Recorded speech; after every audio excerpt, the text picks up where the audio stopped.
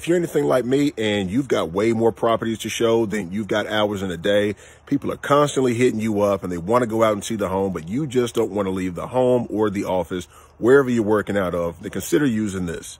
You can go to Walmart for about 30 bucks or so. You can pick up a lockbox. And what you do is you open up the box, place your key on the inside of it,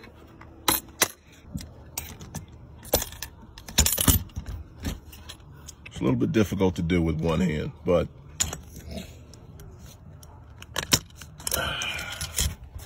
you get the gist of it right there. And that way, when you have people that want to come out and look at the home and you don't have to be there, you can just go ahead and give them a code as soon as they arrive at the place. Makes a lot of sense, saves a lot of time and gas money. So stay tuned for more tips.